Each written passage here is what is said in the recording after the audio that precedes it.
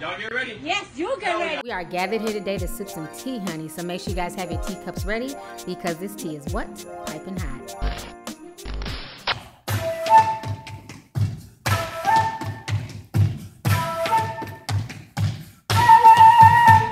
Right, so you guys know that that's one of our favorite memes, and every time he plays his flute, you guys already know this is a story about the pissy Pied Piper, okay? So what's going down is this. If you guys remember, I did a video on R. Kelly the other day where basically I was talking about how Spotify was removing his music, XXX's music, and TayK's music off of their playlist. And I had gotten some backlash from people. They were saying, you know, you should be happy that they're removing his music from the playlist. You know, um, he's a pervert. You're defending him. Other folks were saying um, they're not trying to remove him altogether. It's just off the playlist. You know, you're reaching with this, you're going too far. And now, like I stated in my video, it's going to start with R. Kelly, but what's to stop them from saying, you know what? Since R. Kelly's doing something that we don't like, well, how about we start removing all these other artists and requesting that all of these other artists get removed off of Spotify's playlist as well? And then literally a day later, people started tagging me in this article, and the article says, Women's rights group asked Spotify to remove Nelly, Chris Brown, Eminem, and others from their services. So this situation is really interesting. I'm going to go ahead and read to you guys this letter really quick, and I'm going to come back with the rest of my commentary. So the women's rights organization is called Ultraviolet, and they penned this letter on May 15th to Spotify, and they're basically applauding them for the removal of R. Kelly, XXX, and TayK from their curated playlist as part of a new hateful conduct policy. So this is what they're saying. They're saying thank you for taking the important step of removing infamous abusers like R. Kelly and XXX from your official playlist. Your action demonstrates that Spotify is following the lead of black women who demand that these two men who have sexually and physically abused women for years not be promoted and celebrated. Shaunna Thomas, who serves as the group's executive director, mentions the rippling effect that glorifying celebrity abusers has on the rest of society.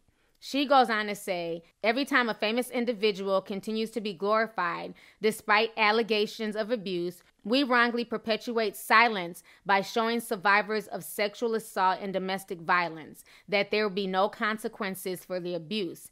That has a cultural effect far beyond the individual artist. She then goes on to basically list a number of rock and hip hop artists that the group demands to be removed from the streaming platform's policy, including the affirmed mention Red Hot Chili Peppers, Steven Tyler of Aerosmith, and Ted Nugent, along with Chris Brown, Eminem, and Nelly. Honey, I hate to say I told you so, but damn it, I told you so. Go ahead and watch this damn flashback of Tigro Damas telling y'all this shit would happen. Check this out. This R. Kelly situation is getting messier and messier, honey. But you know what? I'm here for it, bitch, okay? So, my thing is this while I understand what Spotify is trying to do, and while a lot of people are clapping and saying, yes, yes, remove R. Kelly's music, he's a pervert, he's a pedophile, that's fine and dandy. But my thing is, where does this end? because what they're saying in that statement rings true, okay? This is just me being objective. If you're going to remove R. Kelly's music based on, you know, you know, this whole Me Too movement, based on people not feeling him right now, then there's going to be a lot of people that also need to be affected, okay? Let's keep it real. Right now, Fabolous is going to court, even though Emily B's goofy self is by his side at court, okay? For basically, you know, domestic violence, for knocking out her two front teeth, but yet and still his music is still on Spotify. You know what I mean? We have criminals like T.I., you know, who's been convicted of multiple felonies. His music is still on Spotify. So my thing is, where does it end? If we're gonna cheer them getting rid of R. Kelly's music and TayK's music and XXX's music, where does it end? So by the logic that Spotify is trying to implement, they're going to need to remove a lot more people's music. Well, are y'all surprised? I told y'all and y'all attacked me and y'all said I was taking up for R. Kelly and y'all said, T, it's just the playlist, it's not the whole thing. Y'all don't understand how censorship works, okay? I'm no fan of R. Kelly. I make videos dissing him all the time. I've been one of the few YouTubers from day one calling his perverted ass out, okay?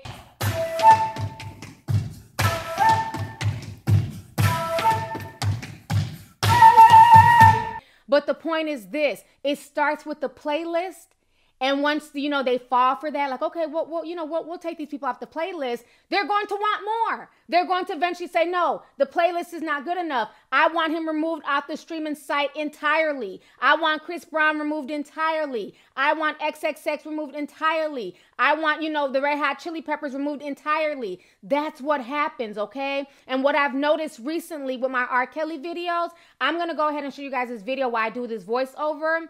Now, I've done numerous videos on R. Kelly. They've always been approved, okay? But these last two videos I've made on the R. Kelly situation were both demonetized. You know, watch these videos I'm talking. These other ones were approved. These last two were both demonetized. So that goes to show you they are trying to censor anything concerning R. Kelly, anything talking about freedom of speech. It starts with R. Kelly's music and then it starts to snowball from there, okay? If this is the case, we'd have to damn near get rid of every artist because numerous artists, from rock and roll artists to rap artists to hell, even country artists, have been involved with abusing women or getting arrested or having felonies. You know what I'm saying? A lot of backgrounds in the industry are not squeaky squeaky clean. So if we're going to get rid of the R. Kellys, then you have to be fair across the board. They're using R. Kelly as a scapegoat to basically censor music, to basically say who can and can't make money in this genre. Okay, that's the big picture. That's how I'm looking at it. That doesn't make me a defender of R. Kelly or defender of his actions. I will always be a defender of free speech because I'm a YouTuber and I know how that feels to be censored because somebody doesn't agree with you, because somebody doesn't like your race, because somebody doesn't like the fact that I'm a black woman on a platform and they try to shut you down and flag your videos and all this and that. You know what I'm saying? I know how that feels. So I can sense censorship coming, honey, from a fucking mile away. That's why I'm not on board with this. At the end of the day, the only person that you control in this world is yourself. If you do not like R. Kelly, then don't play his music. Don't download his shit, okay? But you don't have the right to say that his music shouldn't be there or that he can't profit off his music because once you say that, you need to say that for everyone across the board, okay? Because Eminem's lyrics are a lot more harsh than anything R. Kelly has ever said in his music. Let's keep that all the way 100, okay? T.I. has several felonies. R. Kelly, for whatever reason, has gotten away with a lot of bullshit. But this man was a convicted felon. So should T.I. not be able to eat and provide for his family because of his criminal record? You know what I'm saying? So this has a snowballing effect. We have to look at this with a clear mind and stop looking at this from an emotional point of view that I just want R. Kelly shut down because once you say that, it's going to come back and affect some of your favorite artists, okay? And another thing, I'm tired of people looking at this as some type of, you know, justice. Oh, he's getting removed off of the playlist. This is justice. This is not justice. If you guys want justice for these victims and you guys want justice for these women, then R. Kelly needs to be in jail. His music music not being on a playlist does not equate justice. And I see too many women applauding this step by Spotify. They're equating this to some type of justice. That's not justice. This man has not had his day in court. Like, let's stop conflicting the two. His music being removed off of a playlist does not give justice to those victims out there, okay? So I just find this whole situation insane. And I'm sure this video will also be demonetized now because now YouTube is also following suit and they're demonetizing stuff with R. Kelly's name name in it,